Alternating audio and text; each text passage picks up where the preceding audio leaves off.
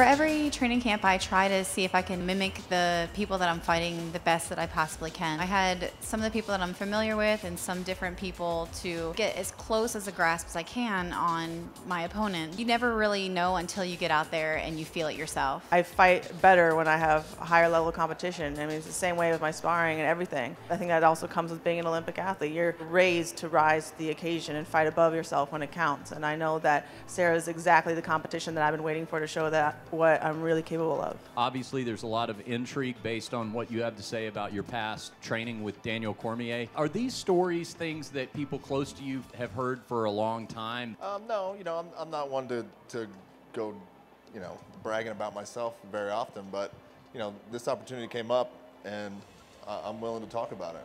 Patrick, hold the microphone up. We can't hear you. Hey, sorry, man, it's my first time. but listen, i am going to, uh, I feel like we've gotten really close in, the, in this past week, so I'm not going to call you Daniel. I'm going to call you Dan. You okay with that?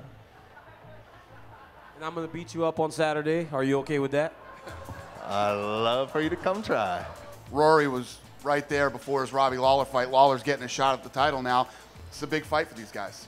Every fight is a you're in a must-win situation, but for these guys right now and uh, where they sit in, in that division, it's a very important fight for them being that this is the first time that Georges St-Pierre is actually not fighting anymore in the UFC, do you feel like you finally have emerged out of that shadow? I never really felt like there was a shadow there. Um, it, it is less pressure, not having to respond to the question. I'm just doing my own thing, you know, uh, one fight at a time on my own on my own journey to the title. I like to fight here in Vegas because you know I feel this is the city of the fight, and I feel like the energy is different, you know. So I always won when I fought here, and I hope to keep winning. Just